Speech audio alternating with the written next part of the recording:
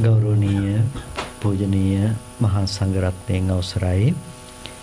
ශ්‍රද්ධා සම්පන්න කාරුණික පින්නතුනි හැම කෙනෙක්ම උතුම් සද්ධර්ම ශ්‍රවණය සඳහා සූදානම් වන මොහොත. ලෝතර සම්මා සම්බුදුරජාණන් වහන්සේ නමක් මේ ලෝකෙට පහළ වෙලා ලෝකයාට විවර කොට දේශනා කරනු ලබන ඒ උතුම් සද්ධර්මයෙන් ස්වල්පයක් නමුත් හැම කෙනෙක්ම මේ වෙලාවේදී ශ්‍රවණය කරගන්නට බලාපොරොත්තු වෙන්නේ. පිනතුනි අපේ ජීවිතය තුළ බුද්ධ ශාසනය ඇසුරු කරනකොට අපිට ලබන්නට ලබන්නට පුළුවන් ප්‍රධාන ලාභ දෙකක් තියෙනවා. එකක් ලෞකික ලාභයන් අනිත් එක ලෝකෝත්තර ලාභයන්. ලෞකික ලාභයන් විදිහට ලෞකික කුසල ධර්මයන් තුළ අපේ ජීවිතය හික්මව ගන්නට පුළුවන්කම ලැබෙන්නේ අර්ථ පරිපූර්ණ ලෙස බුද්ධ ශාසනයක් ඇසුරු කරගෙන. බුද්ධ ශාසනයක් ලෝකේ නැති වුණත් මිනිස්සු කුසල් දහම් කරනවා. නමුත් කුසලය අර්ථ පරිපූර්ණ කොට සිද්ධ කරන්නට පුළුවන්කම ලැබෙන්නේ බුද්ධ ශාසනයක් ඇසුරු කරගෙන. ඒ වගේම ලෝකෝත්තර කුසලය අපිට සම්පාදනය කරගන්නට පුළුවන්කම ලැබෙන්නේ බුද්ධ ශාසනයක් ඇසුරේ පමණයි. මේ කියන මහා ලාභයන් අපිට බුද්ධ ශාසනයක් තුළ ලබන්නට පුළුවන්කම තිබෙනවා. ඒ ලාභයන් අතර අපිට අද මනුස්ස ජීවිතයක් ලැබිලා සද්ධර්ම ශ්‍රවණය කරගන්නට පුළුවන් මනසක් ඇතුව ඉපදිලා ධර්ම ශ්‍රවණය කර ගැනීමට අවැසි වටපිටාව නිර්මාණය වීම ආදී මේ සියලු කටයුතු සඳහා බලපාන ප්‍රධානතම දේ තමයි අප සම්පාදනය කරගනු ලබන ලෞකික කුසල ධර්මයන්. පුබ්බේච කත පුඤ්ඤතා කියලා පෙර කළ පින් නැති බව කියලා පිය පිළිබඳව දක්වනවා. ඒ පෙර කළ පින් නැති බවක විපාකයක් විදිහට තමයි කෙනෙකුට මනුෂ්‍යාත්ම භාව ප්‍රතිලාභයක් කරන්න පුළුවන්කම තියෙන්නේ. වගේම මිනිස්සෙක් හැටියට ඉපදුනත් ත්‍රි හේතුක ප්‍රතිසන්දියක් ලබන්න පුළුවන්කම තියෙන්නේ. අලෝභ, අද්වේෂ, අමෝහ එහෙම නැතිනම් ප්‍රඥාව සහිත ආත්ම භාව ප්‍රතිලාභයක් කරන්න පුළුවන්කම තිබෙන්නේ. ඒ කුසලයක විපාකයක් හැටියට අපිට ලැබෙන දෙයක් විදිහට. ඒක සම්පූර්ණම ලෞකික කුසල ධර්මයන්ගේ විපාක ලෙස අපට ලබන්නට පුළුවන්කම තිබෙන දේවල්. එතකොට මේ ආකාරයෙන් අපිට අපේ ජීවිතය තුළ මේ ලෞකික කුසලයේ පැත්තෙන් අපිට දියුණු වෙන්නට පුළුවන්කම තිබෙනවා වගේම බුද්ධ ශාසනයක ඊට එහාට මඟ දක්වනවා ඒ ලෞකික කුසලයන් තුළ සීමා වෙන්නේ නැතුව ඊට වඩා බොහොම ගැඹුරු තැනකින් අපේ අවබෝධය ඇති කරගන්නට ලෝක යථාර්ථයේ තේරුම් ගන්නට අපිට මඟ කියා දෙනවා. අන්න ඒ දේ තමයි බුද්ධ ශාසනයක් තුළ අපිට ලබා ගන්නට පුළුවන් වටිනාම දේ බවට පත් වෙන්නේ. මොකද ඒක හැම කාලෙකම ලෝකේ අහන්න පුළුවන් කමක් ලැබෙන දේවල් නෙමෙයි. බුදුරජාණන් වහන්සේ ලෝකේ පහළ වෙන්න කලින් හිටපු අය දන් දුන්නා. ඒ අය සිල් රැක්කා. ඒ වගේම භාවනාත් කළා. ඇතැම් අය ධ්‍යානලාභීන් හිටියා, අෂ්ට සමාපත්තිලාභීන් හිටියා. එර්ධි ප්‍රාතිහාරය දක්වන්නට පුළුවන් අය හිටියා. හැබැයි කාටවත් ලෝකේ යථාර්ථයේ තේරුම් ගන්නට පුළුවන් කමක් තිබුණේ නැහැ. නිසා බුදුරජාණන් වහන්සේ අපට දේශනා කළේ ඒ තාක් ලෝකේ පැවතුණු දෙයම නෙමෙයි අපිට නැවත කිරීම සඳහා දේශනා කළේ ඒ අයට දකින්න බැරි වුණු ලෝක යථාර්ථයක් අපට අවබෝධ කරගෙන දේශනා කළා. ඒ යථාර්ථය තමයි අපට දුක නැති කරගන්න ක්‍රමවේදය. මොකද ලෝකේ සාමාන්‍ය දැකීමක් තියෙන කෙනෙකුට දුක නැති කරගන්නට ඒ කිසිම ක්‍රමවේදයක් තුල පුළුවන් කමක් ලැබෙන්නේ නැහැ. අපි ප්‍රධාන වශයෙන්ම භවය අපි ජීවත් වෙන මට්ටම අපි අපි කාම භවය තුල ජීවත් වෙනවා කියලා කියනවා. ඒ වගේම ඒ මට්ටම ඉක්මවා ගිහිල්ලා කෙනෙකුට රූප භවයට හිතපත් කරගන්නට පුළුවන්. ඒකත් ඉක්මවා ගිහිල්ලා අරූප භවයට කෙනෙකුට හිතපත් කරගන්නට පුළුවන්කම තියෙනවා. ඒකට අපි කාම භවය තුල වාසය කරනවා කියලා කියන්නේ අපි ජීවත් වෙන මේ ලෝකය තුල අපි සැපය, සොම්නස, සතුට, තෘප්තිමත් බව අපි බලාපොරොත්තු වෙන්නේ බාහිර වස්තුන් තුලින්. ඒක තමයි කාම ලෝකේ තියෙන ස්වභාවය. අපිට සතුටු වෙන්න පුළුවන්කම තියෙන්නේ ලස්සන රූපයක් දිහා බලලා. අපිට සතුට වෙන්න පුළුවන්කම තියෙන්නේ මිහිරි ශබ්දයක් අහලා. ගඳ සුවඳ රස ස්පර්ශයන් තුල තමයි අපිට සතුට වෙන්න පුළුවන්කම තියෙන්නේ. ඒ කියන්නේ ඔබේ සතුට රඳා පවතින දේවල් දිහා බැලුවොත් භෞතික ලෝකයේ තුල තමයි ඔබේ සතුට රඳා පැවැත්ම අද දවසේදී තියෙන්නේ. එතකොට ඒ ලෝකයේ තුල දුක නැතිව සැපවත්ව වාසය කරන්නට ඕනේ නම් ඒ නිසා තමයි අපි නිරන්තරයෙන් කල්පනා කරන්නේ භෞතික වශයෙන් දේවල් සම්පාදනය කරගෙන ජීවිතයට එන දුක වළක්වාගෙන සැපවත්ව වාසය කරන්නට ඕනේ කියන හැඟීම සාමාන්‍ය ලෝකෙ තුල පවතින නිසා ඒක තමයි ඒ කාම භවයේ තියෙන ස්වභාවය.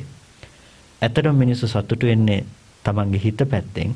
හැබැයි හිතේ ඇතිවන සතුට මිනිස්සු දකින්නේ බාහිර රූප, ශබ්ද, ගන්ධ, රස, ස්පර්ශයන් පැත්තෙන් එනවා කියලා. ඒ දේවල් තුළින් සතුට නාවත් ඒක තමයි මිනිස්සුන්ගේ දැකීම. ඒ දේවල් තුළින් සතුට එනවා කියන එක පිළිබඳව. එතකොට යම්කිසි කෙනෙකුට හිතෙනවා මේක ආදීනව වැඩි මේ මට්ටම ආදීනව වැඩි මොකද තමන් තමන්ගේ සතුට තියෙන්නේ තමන්ගේ සැනසීම තියෙන්නේ භෞතික දේවල් මත වෙනකොට ඒ දේවල් වෙනස් වෙනකොට තමන්ගේ ජීවිතයට දුක ගලාගෙන එනවා. ඒ දේවල් තමන්ට අවශ්‍ය විදිහට නොපවතිනකොට ඒ දේවල් නිසා තමන්ගේ ජීවිතයට දුකටපත් වෙන්නට සිද්ධ වෙනවා. මොකද අපිට බෑනේ අපිට ඕන විදිහට ලෝකෙ පවත්වා ගන්නට. අපිට අවශ්‍ය විදිහට ඒ දේවල් පවත්වා ගන්න බෑ. යටත් පිරිසෙන් අපේ කෙනෙකුට නොවැඩු හිතක් තියෙන කෙනෙකුට සාමාන්‍ය කෙනෙකුට එයාගේ මනස තමන් කියන තමන්ගේ මනසවත් අඩුම තරමේ විනාඩි 5ක් වෙන අරමුණු වලට යන්නේ නැතුව තියාගන්න එක හරි අමාරු දෙයක්. ඉතින් කොහොමද අපි හිතන්නේ අනික් අයගේ මනස අපිට ඕන විදිහට තියෙයි කියලා. අපිට පුළුවන් කමක් නැහැ මම කියන මේ කය වයසට යන්නේ නැතුව තියාගන්න. ඒක වයසට යනවා, ලෙඩ වෙනවා. ඒක ජරා ජීර්ණ ස්වභාවයටපත් වෙනවා. එහෙනම් අපි කොහොමද අපිට ඕනේ අනිත් දේවල් වෙනස් වෙන්නේ නැති වෙන්න තියාගන්නේ. එතකොට ඒ විදිහේ ආදීනවයක් උරුම වෙනකොට කෙනෙක් හිතනවා මේක අපි සතුටු වෙන්නට ඕන තැනක් නෙමෙයි මේකේ ආදීනව වැඩි. ඒ නිසා මීට වඩා වෙනස් දෙයක් මෙතන තියෙන්නට ඕන කියලා ඒ අය ආත්ම ගවේෂණයේ හිනියලෙනවා. එහෙම නියැලෙනකොට ඒ අයට පුළුවන්කම තියනවා විවිධාකාරයෙන් තමන්ගේ හිත දියුණු කිරීම තුළ මේ තියෙන தത്വයට වඩා වෙනස් දර්ශනයන් උපදව ගන්නට පුළුවන්කම තියෙනවා. ඒකට භාවනාවන් තුළින් ඒ අය විවිධ தත්වයන්ටපත් වන බව අපිට දකින්න පුළුවන්කම තියෙනවා. කරුණා කාරණා විමසීම තුළ ඒ අය ධ්‍යාන සමාපත්තියෙන් උපදව ගත්තා. එතකොට ධ්‍යාන සමාපatti උපදව ගත්තාම ඒ අයට දැන් කාම ලෝකයේ අනුව යන විඳීමක් ඇත්තේ නැහැ. ඒ අය දැන් සාමාන්‍ය මිනිස්සුયો විඳින මට්ටමක දේවල් එහෙම විඳින්නේ නැහැ. හැබැයි ඒ අය සතුට වෙන ඒ අය විඳින මට්ටමක් තියෙනවා. ඒ මට්ටම මේ නානත්ව ලෝකේ නෙමෙයි නානත්ව ලෝකේ කියලා කිව්වේ දැන් අපිට වෙනස් බවක් තියෙනවනේ ලෝකේ අරමුණු දකින්නකොට දකින්න දේවල් අතර වඩා ටිකක් සතුට ගේන දේවල් තියෙනවා ගොඩක් සතුට ගේන දේවල් තියෙනවා මේ ලෝකේ නානත්වයක් තියෙනවා අනේ නානත්ව ස්වභාවය ඉක්මවා ගිහිල්ලා ඒ අය ඒකේ රැඳෙන්නේ නැතුව ඒකත්වයක් තුල හිත තියෙන ඒ කාර්මුණක් ගැන ඒක කසින භාවනාවක් හරි ආනාපාන සති භාවනාව වගේ තැනක හිත එකඟ කරලා එක සංඥාවක හිත තියලා ඒ සංඥාව දියුණු කරලා ඒ නිමිත්ත ඇසුරු කරගෙන එය යම් ස්ථාවරයකටපත් වෙනවා ලෝකය කියලා එයාට හම්බෙන්නේ අන්න ඒ මට්ටමේ නිමිත්තක්.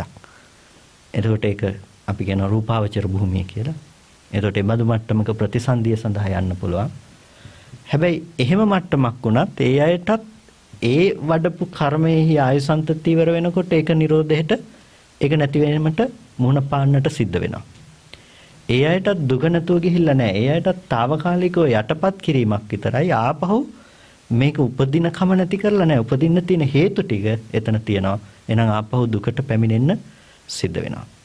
එතකොට ඇතම් කෙනෙක් රූපයේ තියෙන ආදීනව සම්පූර්ණම දැකලා ඒ අය අරූපාවචර මට්ටමේ දේවල් උපදව ගත්තා. ආකාසානං ඡායතනය, විඥානං ඡායතනය, ආකින්චඤ්ඤායතනය, නේව සංඥානා සංඥායතනය වගේ තැනක ඒ අයටත් ඒක තුල සැනසීමක් හොයාගෙන ගියාට රූපය ඉක්මවා එතෙන්ටපත් වෙන්න පුළුවන්. හැබැයි ඒබඳු මට්ටමක සංඥාව අනිත්‍ය වෙනකොට ඒබඳු මට්ටමක තුලත් එයාට සැනසීම ලබන්න පුළුවන් කමක් තිබුණේ නැහැ.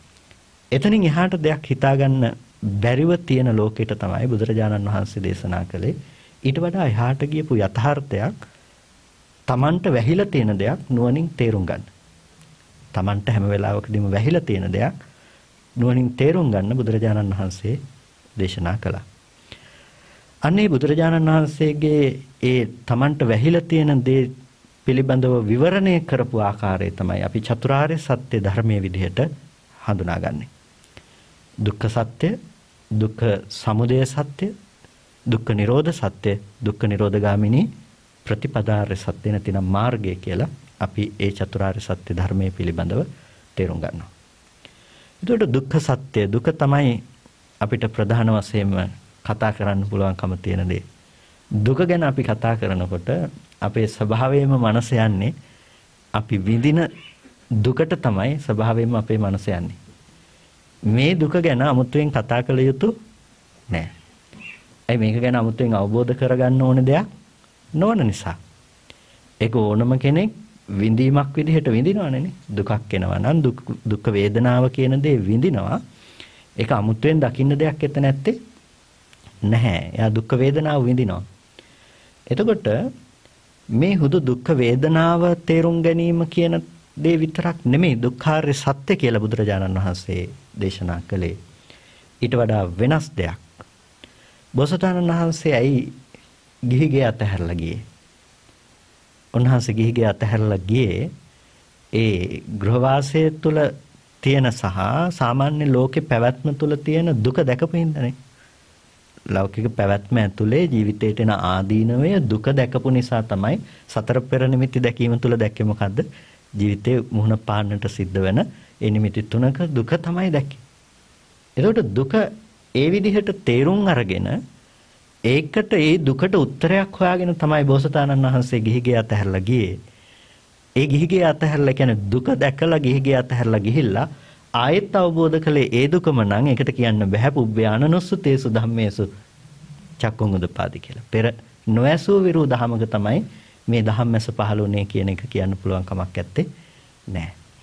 අන්න ඒ නිසා බුදුරජාණන් වහන්සේ මේ දුක කියන ධර්මය පිළිබඳව අවබෝධ කරගත්ත මොකද්ද ඒ කොයි විදිහටද ඒක අවබෝධ කරගත්තේ සත්‍යයක් විදිහට ලෝකයේ තුල හැම තැනකටම පොදු කොතනකවත් ඒක නෑ කියලා කියන්න පුළුවන් කමක් නැති ආකාරයේ සත්‍යයක් විදිහට අවබෝධ කරගත්තේ. ඒක හැමතැනටම පොදු වෙන්නට ඕනේ.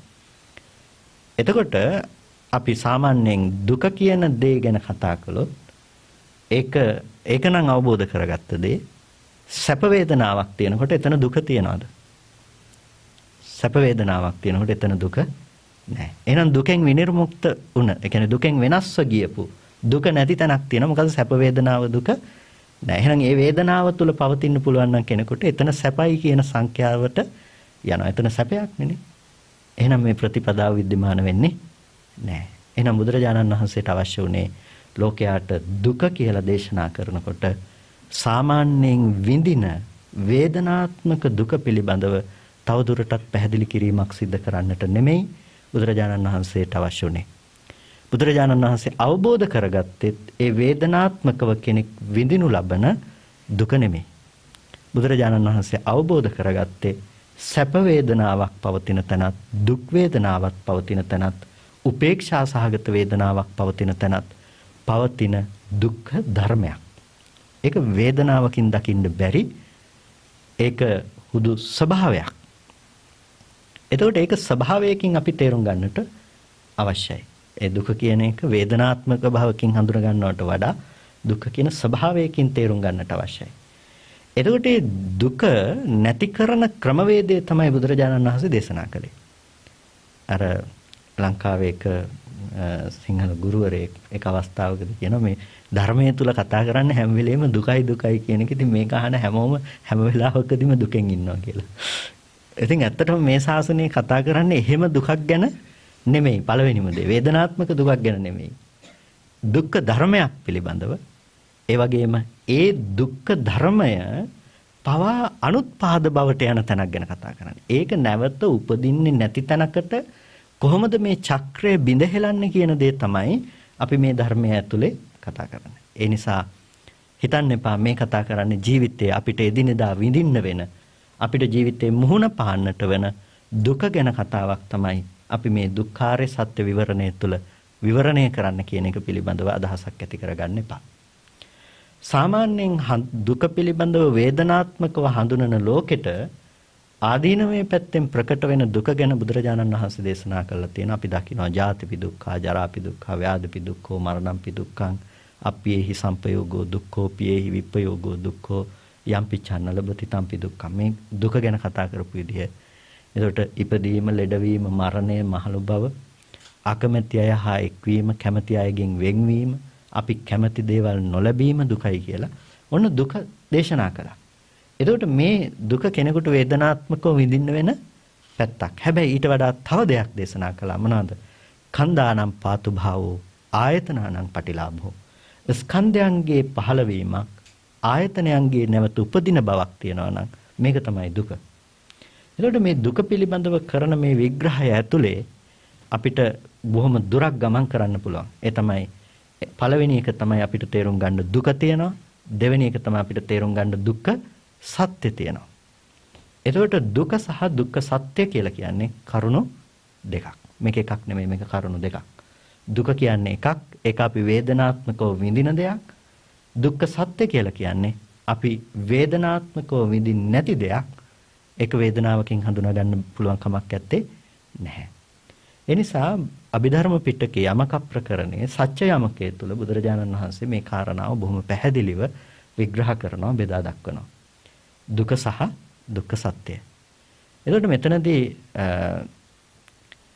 දුක්ඛං දුක්ඛ සත්‍යන්ති දුක කියලා කියන්නේ දුක්ඛ සත්‍යද කියලා අහනවා. දුක කියලා කියන්නේ දුක්ඛ සත්‍යද කියලා අහනවා. එතකොට දුක කියලා කියන්නේ දුක්ඛ සත්‍ය තමයි. දුක කියන තැන දුක්ඛ සත්‍ය තියෙන දුක ඇතුළත් වෙන්නේ මොකටද? දුක්ඛ සත්‍ය කියන සංග්‍රහය ඇතුළට තමයි දුක ඇතුල් වෙන්නේ. දුක්ඛ සත්‍යං දුක්ඛන්ති. දුක්ඛ සත්‍යය දුකද කියලා අනිත් පැත්තට අහනවා.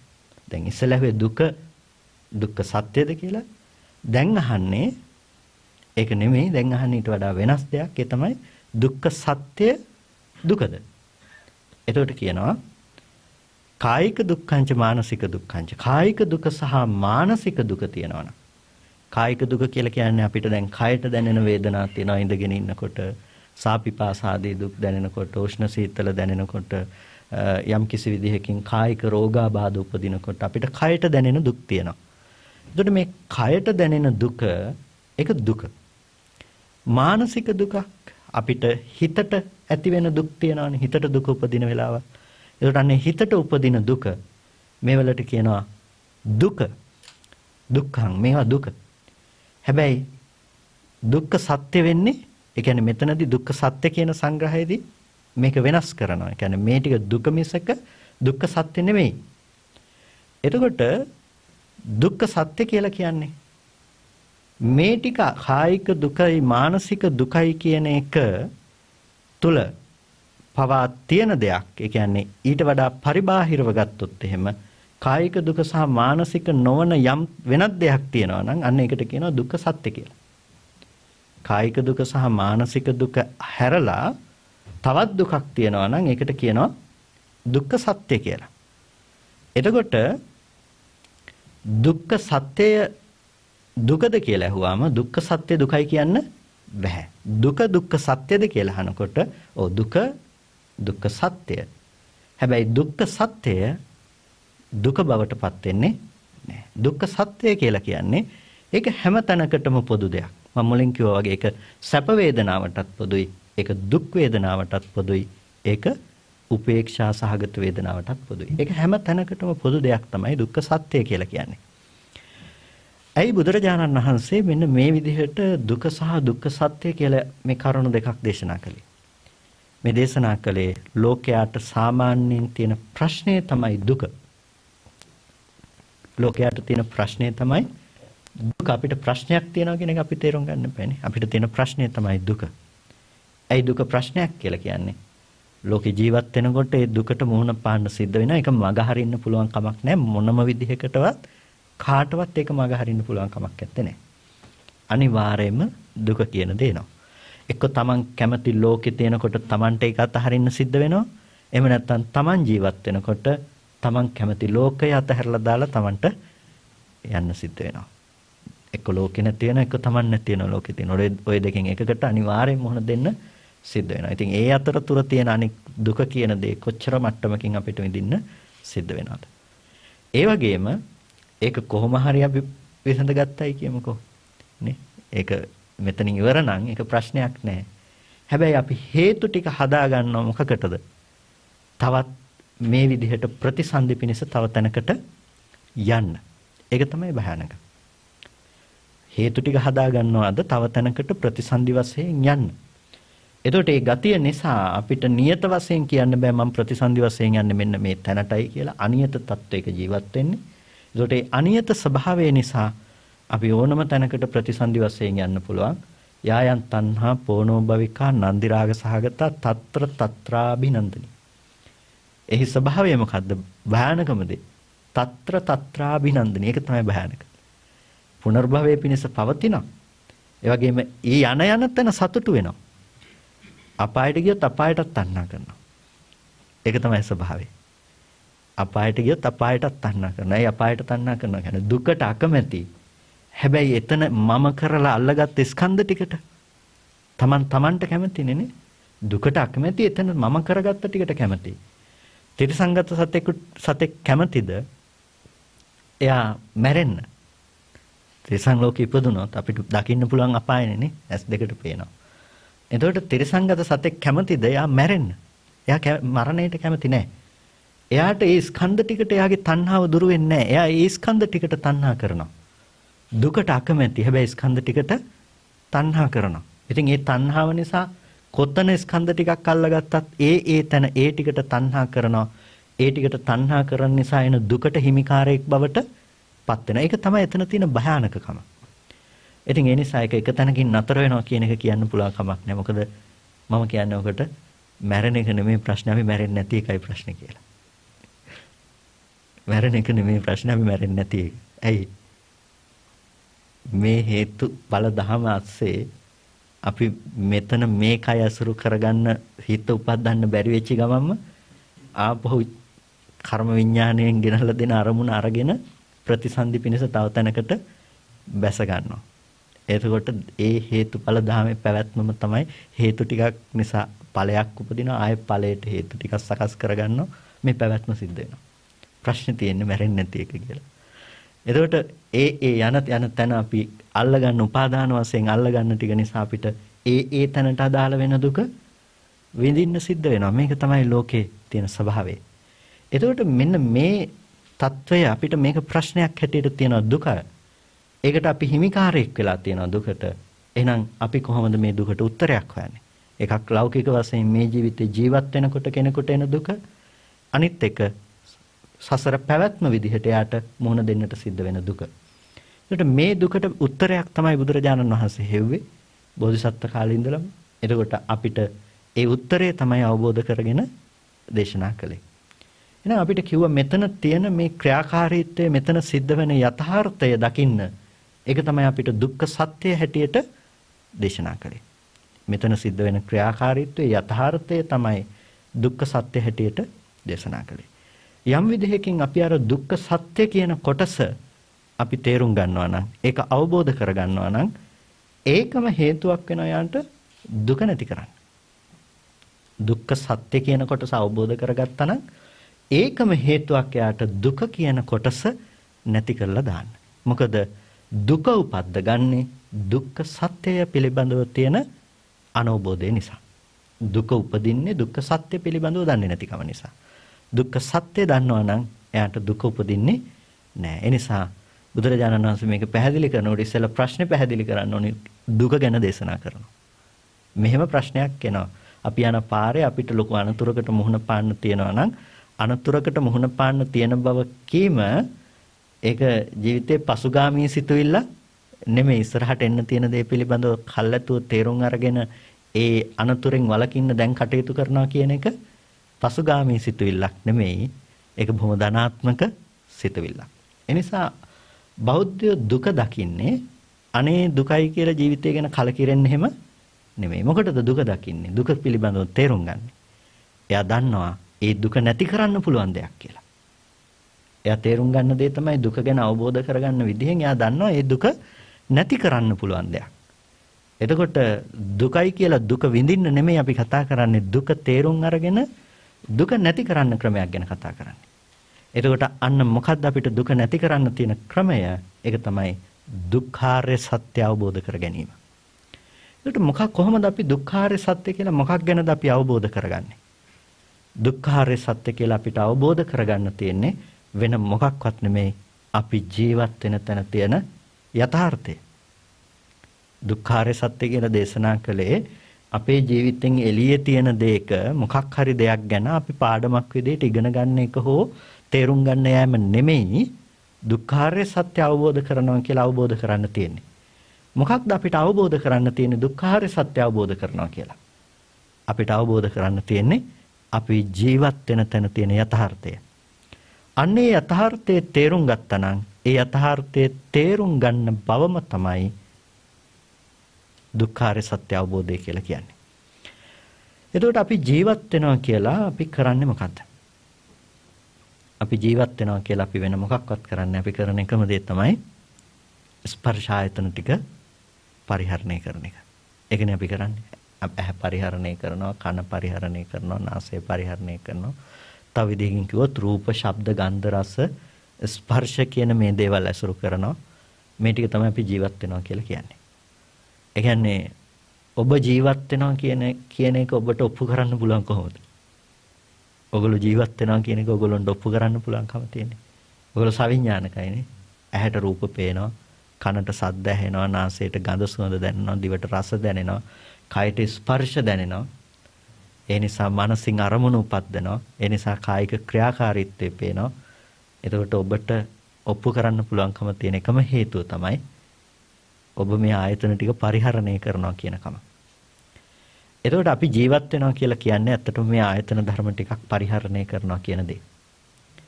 එතකොට අපි හැම වෙලාවකදීම දැන් අපි තේරුම් ගන්න ඕනේ දේ අන්න ඔය ආයතන ටික පරිහරණය කරනවා කියන දේ තමයි තේරුම් ගන්නට ඕනේකම තියෙන දේ.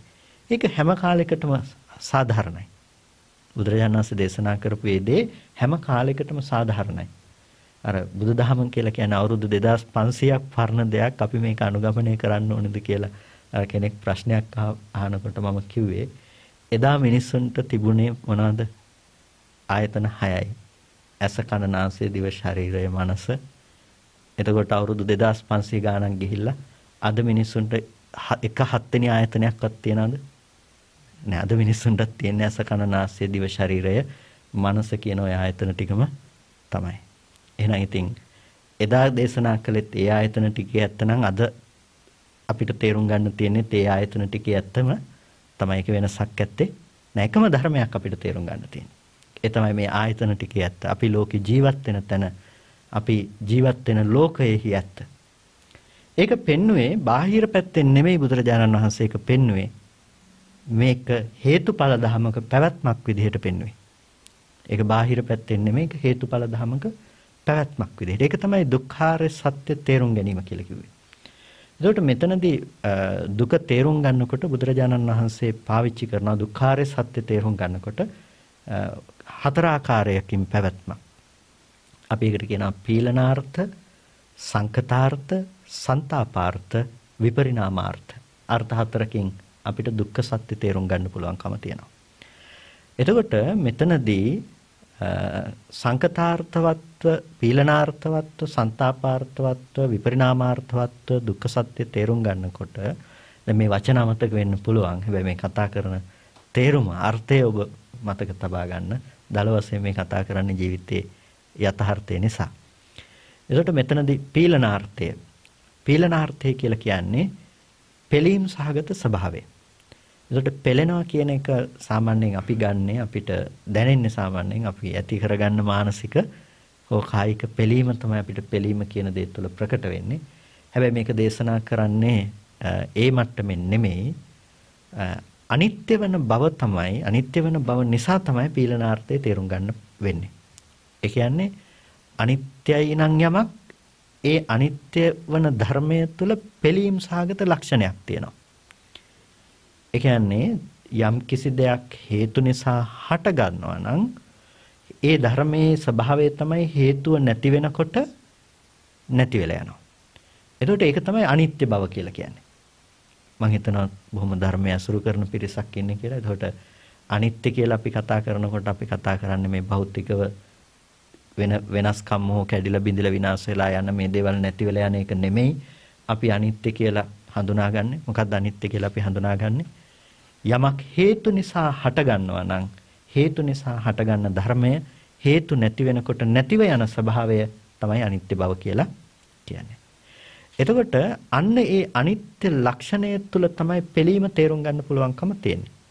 දැන් හේතුව කම්පා වෙන ස්වභාවයේ දෙයක් නම් ඵලය ස්ථාවර දෙයක් වෙන්න පුළුවන් කමක් නැත්තේ නෑ. ඵලය කම්පා වෙනවානේ හේතු ටික යමක් ගොඩනගන්නට හේතු වෙන හේතුව නිත්‍ය වශයෙන් තියෙන දෙයක් නෙමෙයි නම් හේතුව කම්පා වෙන ස්වභාවයෙන් නම් තියෙන්නේ. එහෙනම් ඒ ඵලය ඒක කම්පා වෙන ස්වභාවයෙන් තියෙන දෙයක්. එතකොට යම් කිසි විදිහකින් අපි මේ මේසේ මෙහෙම බැඳීමකින් තොරව කණු හතරක් තියලා අපි කණු හතර උඩ මේ උඩ කොටස තියලා තිබ්බොත් එහෙම. එතකොට මේ කණු හතර ශක්තිමත් ස්ථාවර බැඳීමක් නැති නිසා මොකද වෙන්නේ? මේක අස්ථාවරයි. එතකොට මේ මේ කණු ටික හෙල්ලෙනවා කියන එකෙන් උඩ තියෙන මේ කොටස මේ දේවල් වලට මොකද වෙන්නේ? ඒ දේවල් වෙනස් වෙනවා. ඒ දේවල් හෙල්ලෙන්න පටන් ගන්නවා. එතකොට අන්නේ එතකොට අන්නේ ඵලය කම්පාවටපත් වෙන අන්න ඒ ඵලය තුළ පෙළීමේ ලක්ෂණයක් තියෙනවා. මේක නුවණින් දකින්න තියෙන නුවණින් තේරුම් ගන්න තියෙන දෙයක්. දුක්ඛ සත්‍ය ගැන දේශනා කළේ ඒක විඳින්න තියෙන දෙයක් නෙමෙයි මොකද්ද? පරිඤ්ඤයයි. පිරිසිඳ දකින්න ඕනේ. ඒක නුවණින් කරුණාකාරණා විමසමින් තේරුම් ගන්න තියෙන්නේ. එතකොට අපිට පේනවා මෙතනදී පීලනාර්ථයේහි දුක්ඛ ලක්ෂණයේ පෙළීම් සහගත ස්වභාවයක් තියෙනවා. මොකද්ද පෙළීම? යම් ධර්මයක් හේතු නිසා හටගෙන හේතු නැති වෙනකොට නැති වෙනවා නම් ඒ ඵලය ස්ථාවර වෙන්න පුළුවන් කමක් නැත්තේ නෑ. ඔක තමයි තේරෙන්නේ. දැන් ඕක අපේ ජීවිතේට යෙදෙන්න ඕනේ. අපේ ජීවිතේට යෙදෙන්න ඕනේ. කොතෙන්ටද කොයි විදිහටද යෙදෙන්නේ? අපි ඇහෙන් රූප බලන තැනට, කනෙන් ශබ්ද ඇහෙන තැනට, නාසයෙන් ගඳ සුවඳ විඳින තැනට, දිවෙන් රස විඳින තැනට, කයෙන් ස්පර්ශ විඳින තැනට, මනසෙන් අරමුණු දැනගන්න තැනට දැන් මේක යොදන්න අවශ්‍යයි. එතකොට අපි ඇහැට රූප දකිනවා. ඇහෙන් රූප දකිනකොට ඇහැට රූප පෙනෙන තැනක ක්‍රියාත්මක වෙන සිද්ධිය අරකට බහලා බලනකොට මොකද්ද පේන්නේ? හේතු නිසා හටගත්ත දෙයක් ඒක හේතු නැති වෙනකොට නැති වෙලා යනවා. එතකොට රූපය පේනවා පේනවා කියන එක මොකක් නිසාද ඉපදුනේ? හේතු නිසා හටගත්ත දෙයක්. කොහොමද ඒක හේතු නිසා හටගත්තා කියලා කියන්නේ? ඒක ආහාර ප්‍රත්‍යයෙන් ඉපදුණු දෙයක්. ආහාරය නිසා ඉපදුණු දෙයක්. ආහාරය කියනකොට කන කෑම විතරක් නෙමෙයි ආහාර කියන වචනේ පාවිච්චි වෙනවා ප්‍රත්‍ය හැඳින්වීම සඳහා. යමක් උපදවන්නට හේතු වන ප්‍රත්‍ය හඳුන්වන්නට. එතකොට මේක ආහාර කියලා කියනවා. ආහාර නැතිනම් ප්‍රත්‍ය නිසා උපන්න දෙයක්. පෙනීම කියන එක ප්‍රත්‍ය නිසා උපන්න දෙයක්. පේන්නේ රූපේ නෙමෙයි. ඒක ප්‍රත්‍ය සමவாயෙන් උපදින දෙයක්. අපිට හිතෙන්නේ ඇහැට පේන්නේ තියෙන රූපය කියලානේ. තියෙන රූපය නෙමෙයි පෙනීම කියන දේ ඒක ප්‍රත්‍ය සමவாயෙන් උපදින දෙයක්. අපි දකිනවා කියන එක ප්‍රත්‍ය සමவாயෙන් උපදින දෙයක්. එතකොට මේකට හේතු වෙන ප්‍රත්‍ය විදිහට උපකාර කරන්නේ මොනවද? ඇහැ, රූපය සහ සිත. මේ ධර්ම තුන තමයි මේකෙදි උපකාර වෙන්නේ. ඇහැ, රූපය සහ සිත. එතකොට අපිට පේන්නේ රූපය නෙමෙයි කියලා කිව්වේ මේ ඇහැ වෙනස් වුණොත් අපිට රූපය වෙනස් විදිහට පේනවා. එහෙමනේ. ඇහැ වෙනස් වුණොත් රූපය වෙනස් විදිහට පේනවා. කළුසුදු විතරක් පේන මට්ටමේ ඇහැක් තියෙන කෙනෙකුට යාට කළුසුදු විදිහට මේ රූපය දකින්න පුළුවන්කම තියෙනවා.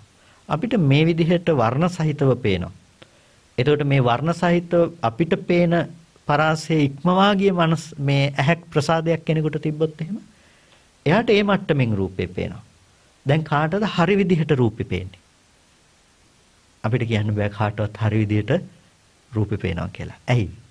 එයා රූපේ කියලා දකින්නේ තමන්ගේ ඇහි ප්‍රසාදයේ ගෙනල්ලා දෙන මට්ටම මිසක එයා රූපය කියලා කවදාවත් බාහිර තියෙන දෙයක්ම දකිනවා නෙමෙයි. තමන්ගේ ප්‍රසාදයේ යම් මට්ටමකටද ඒ මට්ටමට තමයි එයා බාහිර තියෙන රූපය දකින්නේ.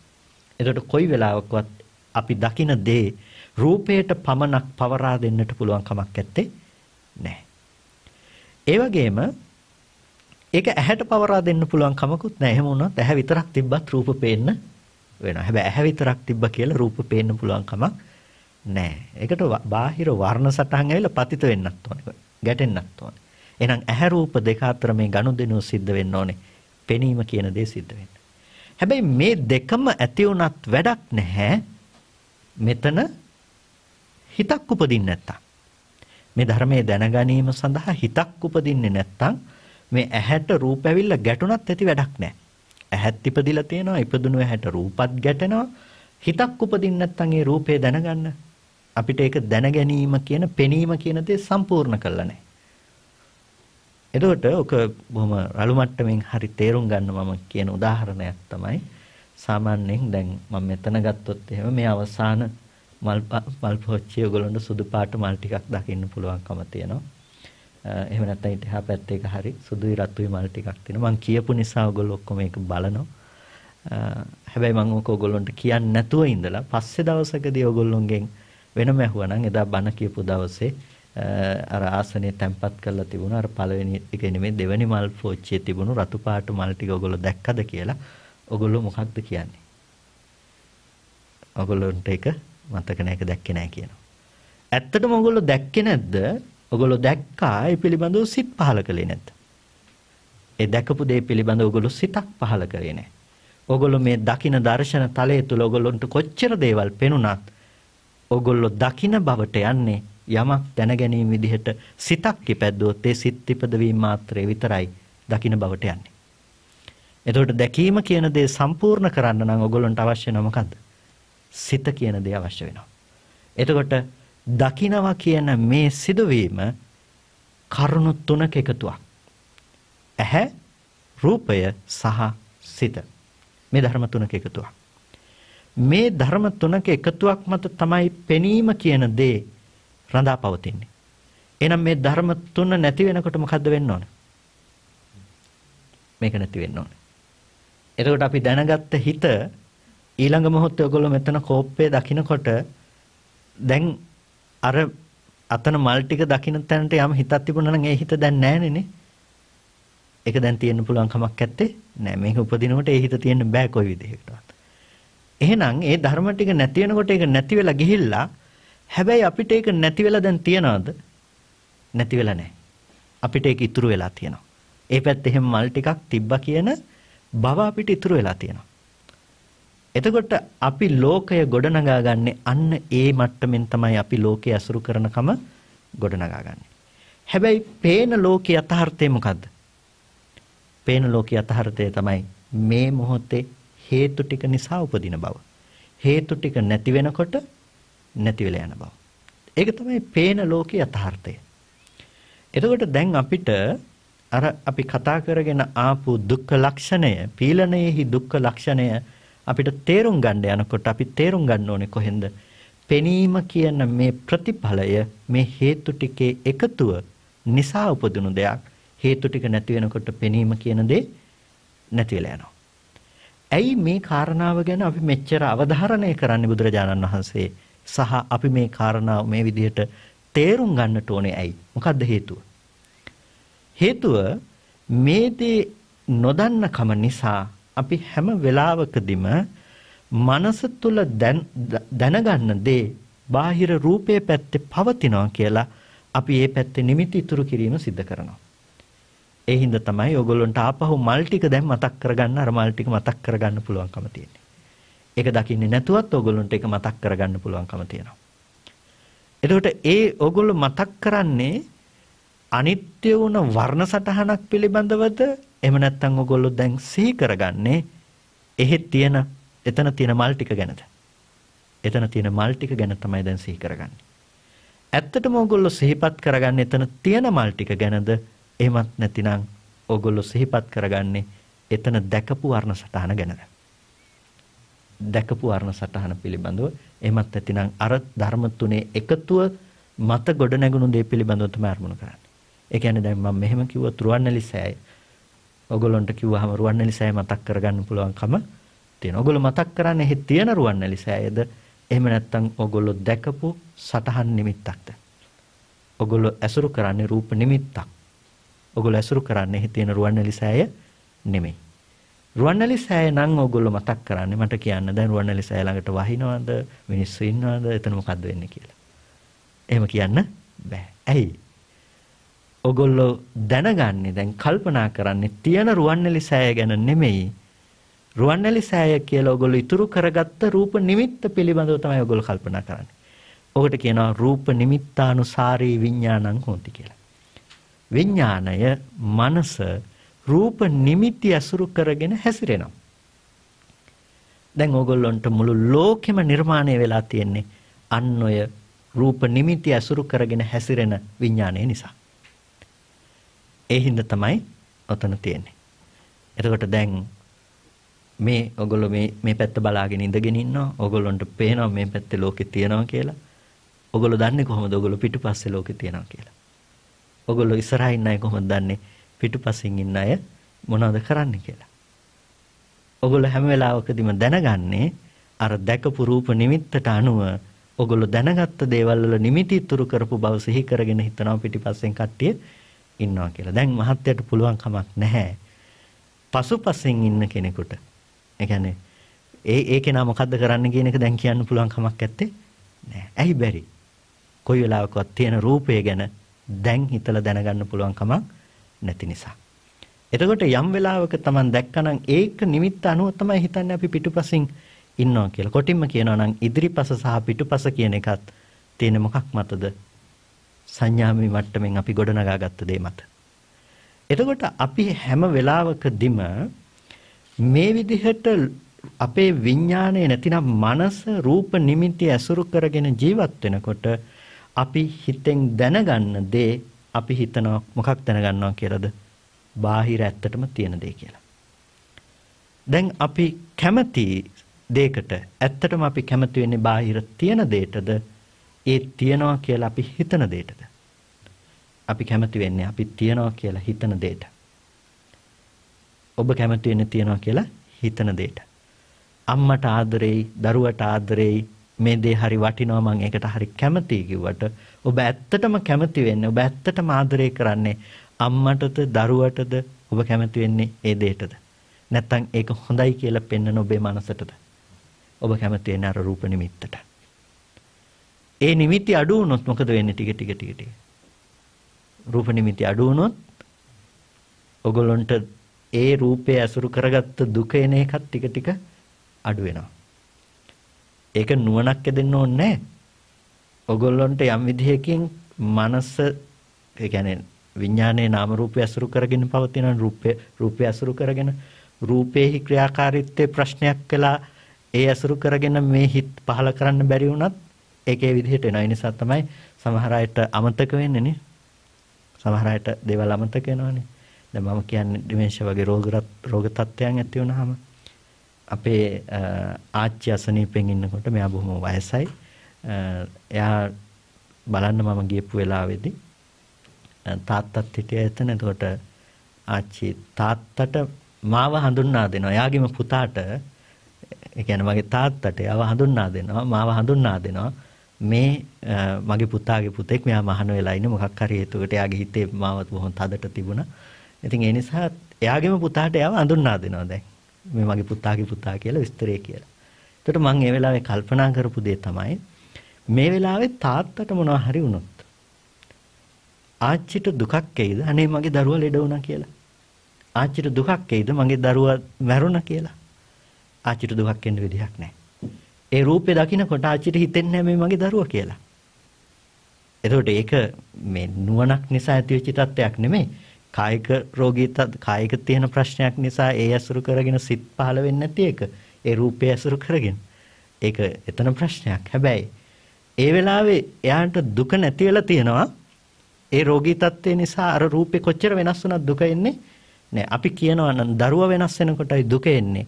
අම්මා ලෙඩ වෙනකොටයි දුක එන්නේ කියලා. ඇත්තටම අපිට දුක එන්නේ අම්මා ලෙඩ වෙනකොටද? එහෙම නැත්නම් අම්මා ලෙඩ වුණා කියලා අපි මෙහි සංකල්පන උපද්ද ගන්නකොටද? අපි සංකල්පන උපද්ද ගන්නකොට තමයි අපිට දුක එන්නේ. එතකොට කෙනෙකුගේ අපි මරණය කියන එක දුකක් කියලා කිව්වට අපිට ඇත්තටම දුක වෙන්නේ කෙනෙකුගේ මරණයද එහෙම නැතිනම් මෙහි තියෙන සංකල්පනා ටික මත අපි මරණය උපද්ද ගන්න තැනද? මරණය උපද්ද ගන්න තැන. ඕගොල්ලන්ට හිතන්න මනස තුල හැසිරෙන්න රූප නිමිති වැඩි නම් ඒ රූප නිමිති වලට බැඳිලා වැඩි නම් බැඳීම වැඩි තරමට දුක වැඩි. එහෙනම් දුක පදනම් වෙලා තියෙන්නේ මොකක් මතද? යථාර්ථය නොදන්න කම මත. දුක පදනම් වෙලා තියෙන්නේ දුක්ඛ සත්‍ය නොදන්න තැන. ඒ මත තමයි දුක පදනම් වෙලා තියෙන්නේ. ඔගොල්ලෝ ඇත්ත දන්නේ නැහැ. ඇත්ත දන්නේ නැති නිසා ඔගොල්ලෝ ආස කරනවා? මොකටද ආස කරන්නේ? රූප නිමිත්තට ආස කරන්නේ? දැන් ඕගොල්ලන්ට අම්මා කියන නිමිත්තත් එක්ක බැඳුණු රූප නිමිත්තත් එක්ක බැඳුණු කැමැත්ත ගොඩක් තියෙනවා. හැබැයි ඕගොල්ලෝ හිතනවා එළියේ ඉන්න අම්මට තමයි ආදරේ කියලා. හැබැයි ඇත්තටම ආදරේ කරන්නේ මොකටද?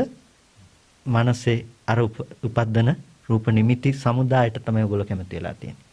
දැන් ඒ සමුදාය බාහිර රූපෙට දාලා බලනකොට ගැලපෙන්නේ නැති වුණොත් මොකද වෙන්නේ? අම්මා ලෙඩ වෙන මැරෙන දුක ඔයගොල්ලන්ට විඳින්න පුළුවන්කම තියෙනවා. එතකොට ඒ දුක එන්නේ අපි එතන පවතින යථාර්ථයේ තේරුම් ගන්න නැතිකම නිසා නෙමෙයි. යථාර්ථයේ තේරුම් ගන්න නැතිකම නිසා තමයි අපිට එතන දුක කියන දේ අපේ ජීවිතේට ගලාගෙන එන්නේ. ඒ නිසා අපිට සිද්ධ වෙනවා එතන යථාර්ථය තේරුම් ගන්න. අන්න ඒ නිසා තමයි දුක්ඛ සත්‍ය අවබෝධ කරන්න කියලා කියන්නේ. දැන් මම කිව්වේ මේක අපි ඇයි මේක තේරුම් ගන්න ඕනේ කියලානේ මේ විදිහට මේක පිළීම් ලක්ෂණයෙන් යුක්ත දෙයක් මෙයාදී ලෙස අපි මේක තේරුම් ගැනීමෙහි සිද්ධ වෙන දෙයක් තියෙන්න පැනේ. ඒ වාසිය තමයි මෙන්න මේ උපදින දුක නැති කරන්න පුළුවන්කම තියෙනවා. ඒ දුක විතරක් නෙමෙයි අපිට තියෙන ප්‍රශ්නේ අපි කිව්වා මේ හේතු සකස් කරගෙන ආයේ ප්‍රතිසන්දි වශයෙන් යනවා කියලා. අන්නේ ප්‍රතිසන්දි වශයෙන් යන්න තියෙන හේතුවත් නැති කරගන්න පුළුවන්කම තියෙනවා. එතකොට දැන් මෙන්න මේ විදිහට මේ ක්‍රියාත්මක වන මේ ක්‍රියාකාරීත්වයේ දිහා අපි ආපහු හැරලා බැලුවොත් අපිට තේරුම් ගන්න පුළුවන්කම තියෙනවා මේ හේතු නිසා සකස් වෙන ධර්මය හේතු නැති වෙනකොට නැති වෙනවා කියන පිළීමේ දුක්ඛ ලක්ෂණයක්. ඔන්න ඕක දුක අවබෝධ කරගන්න ඕනේ. ඔය තියරිය අපිට ඇහැට පේන රූපයන්ට අපි දාලා බලන්න ඕනේ. කනට ඇහෙන ශබ්දවලට දාලා බලන්න ඕනේ. කොහොමද මේක හේතු නිසා උපදිනවා කියලා කියන්නේ. ඇයි මේක හේතු නිසා උපදිනවා කියලා කියන්නේ. එතකොට අපිට පෙනේ කොයි වෙලාවකවත් ස්වාධීනව ඇහැ නැතුව එළියේ තියෙන රූපයකට ඇවිල්ලා කියන්න බෑ මම මේ පාට මේ හැඩේ දෙයක් කියලා කියන්න බෑ. එතකොට ඒක ඇහැට පතිත වෙලා ඒ ගැන හිත ඇති වුණාට පස්සේ තුන් දෙනාගේ එකතු වුණාට පස්සේ තමයි පෙනීම ඉපදුනේ. ඒක ඒ මොහොතේ විතරයි පවතින්නේ. ඒකට කියනවා අහුත්වා සම්භූතං හුත්වාන භවිස්සති. පෙර නොතිබී උපදිනවා ඉතුරු නැතුව නිරෝධයටපත් වෙනවා. ඒක තමයි රූපේ ස්වභාවය. එහෙනම් අපි කොහොමද කලින් දැකපු එක ආපහු දකින්නේ? කලින් දැකපු එක ආපහු දකින්න. අපිට කවදාවත් කලින් දැකපු එක ආපහු දකින්න බෑ. හැබැයි අපි හිතනවා කලින් දැකපු එක අපිට ආපහු දකින්න පුළුවන් කියලා. එතකොට කලින් දැකපු එක රූපේ පැත්තේ නැවත කවදාවත් දකින්න බෑ. අහුත්වා සම්භූතං. ඒක නොවි හටගන්නේ. දැන් හේතු තුන එකතු වුණා නම් දැන් පේනවා. ඒ හේතු තුන නැති වෙලා යනවා. ඒක කවදාවත් ආයෙ උපදින්නේ නැහැ. මේ ගියපු තප්පරේ ආයෙ කල්ප කෝටි ප්‍රකෝටි ගානකින්වත් ගන්න පුළුවන්ද? ඒක ගන්න පුළුවන් කමක් නැහැ. එහෙනම් අපි කොහොමද කියන්නේ? ඒහා ප්‍රතිබද්ධව තිබුණ අනිත් දේවල් ටික අපව ගන්න පුළුවන් කියලා. ගන්න බෑ. නිරුද්ධ වුණා නම් ඒක නිරුද්ධ වුණා. ඒක ආයෙ ආයෙ උපදින්නේ නෑ. ඒක ආයෙ හටගන්නේ නෑ. ඔයගොල්ලන්ට පුළුවන් ආයෙ දකින්න අලුතෙන් හේතු ටිකක් හැදිලා අලුතෙන් දෙයක් ඔයගොල්ලන්ට පේනවා. එතකොට හැබැයි ඔයගොල්ලෝ අර කලින් සංඥාව ඇත්ත කරගෙන තිබ්බොත් ඔයගොල්ලන්ට මේ මල් ටික පර වෙන බව දකින්න පුළුවන්. හැබැයි ඔයගොල්ලන්ට කවදාවත් පේන රූපය තුල මල් ටිකක පරවීමක් නැහැ. පේන රූපය තුල මල් ටිකක පරවීමක් නැහැ. ඇයි පෙනීම තුල මල් ටිකක පරවීමක් නැත්තේ? කලින් එක ඇත්ත වෙලා නැත්තම් දැන් එක ඒ විදිහට වෙන්න විදිහක් ඇත්තේ නෑ ඒක තමයි දැන් අලුතෙන්ම පේන පෙනීම. කවදාවත් මලක් දැකපු නැති කෙනෙක් එයාට මල පරවෙච්ච ස්වභාවයෙන් ගෙනල්ලා පෙන්නුවොත් එහෙම මේ තමයි මල කියලා. එයාගේ මල මොන විදිහද? එයා දන්නේ පරවෙච්ච මල. එයාට නිමිති නැත්තම්. එතකොට අපි මල පර වෙනකොට පර වුණ මල ගැන දුකටපත් වෙනවා නම් ඒ දුකටපත් වෙන්නේ කලින් එක ඇත්ත විදිහට අල්ලගෙන ඉන්න නිසා නෙමෙයිද? කලින් එක ඇත්ත විදිහට අල්ලගෙන ඉන්න නිසා. අපි කලින් එක ඇත්ත විදිහට අල්ලගත්ත ගතිය අපිට අතහරින්න පුළුවන් නම් මලක් පර වෙනවා කියන ගතිය නැති වෙලා යනවා. එහෙනම් මල පර වෙනකොට දුක් වෙන්න ඕනේ අපිට. ඒක තමයි හැම තැනකටම අදාළ වෙන කතාව. එතකොට අපි දුක්ඛ සත්‍ය හැටියට අපි දකින්න ඕනේ මේ හේතුඵල ධම හැටියට අපිට ගොඩනගන මෙන්න මේ කියපු පීලන ලක්ෂණය ඒක අපි ආදේශ කරන්න ඕනේ ආයතන ටික උපදින හැම තැනකටම. ඒ වගේම දෙවෙනි ලක්ෂණය හැටියට අපි කිව්ව මොකද්ද? සංකතයි. ඒක තරහා ප්‍රතිබද්ධයි. පීලනය කිව්වේ අපි හේතු නිසා හටගෙන හේතු නැති වෙනකොට නැති වෙලා යනවා. ඒ නිසා මේ ඵලය හැම වෙලාවකදීම පෙළීමෙන් යුක්තයි කියන එක. සංකතයි කියලා කිව්වේ හේතු නිසා හටගන්න ගතිය. ස්වාධීනව තනියෙන් ඉදිරිපත් වෙන්න බෑ. තනියෙන් වෙනම ඇති වෙලා තියෙන දෙයක් නෙමෙයි. ඒක සංකතයි. හේතු නිසා සකස් වෙන දෙයක්. ඒ හින්දා තමයි ඔය නැති වෙන ගතිය අනිත් ඔක්කොම ටික තියෙන්නේ. නිවන කියන එකට මොකද්ද කියන්නේ? අසංකතයි කියලා කියන්නේ. අසංස්කෘතයි. ඒක සකස් කරන දෙයක් නෙමෙයි. ඒකට හේතු නැහැ. අරිහත් ඵලසිතත් සංකතයි. අරිහත් ඵලසිතත් සංකතයි. අරිහත් මාර්ගසිතත් සංකතයි. එතන තියෙන රූපය සංකතයි. හැබැයි නිවන අසංකතයි.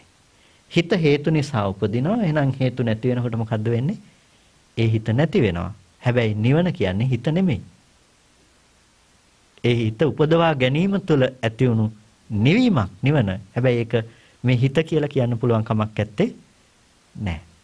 නිවන කියන්නේ අසංකත. ඒක හේතු නිසා සකස් වෙන දෙයක් නෙමෙයි. හේතු නිසා සකස් වෙනවා නම් ඒක මොකද්ද වෙන්නේ? හේතු නැති වෙනකොට නැති වෙනවා කියන එක සිද්ධ වෙනවා. එහෙනම් නිවනත් අනිත්‍යයි. එහෙනම් නිවනත් නැති වෙනවා. මෙතන හේතු නිසා හටගන්න බව අන්නේ සංකතයි කියන ගතිය අපි තේරුම් ගන්නට ඕනේ. ඒක තමයි අපි දුක තේරුම් දුක්ඛාරය සත්‍ය තේරුම් ගන්න ඊළඟ වචනේ. අපි සාමාන්‍යයෙන් පාවිච්චි කරන දුක කියන වචනේ දුක්ඛාරය සත්‍ය හඳුන්වන්නට. හැබැයි ඒකේ හරිම අර්ථය වෙන්න ඕනේ දුක්ඛාරය සත්‍යන. දුක කියන්නේ කායික සහ මානසිකව ඇති වෙන දෙයට වේදනාවට. එතකොට දැන් ඒ සංකත ලක්ෂණය තේරුම් ගන්නට ඕනේ අපි දුක්ඛ ලක්ෂණයක් හැටියට. එතකොට ඒකත් අර පීලන ලක්ෂණයට බහැලුව වගේ අපිට බහල්ලා බලන්න ඕනේ කොහෙටද? ස්පර්ශ ආයතන හයට බහල්ලා බලන්න ඕනේ. අපි ඊළඟ එක කිව්වා ਸੰతాපාර්ථය.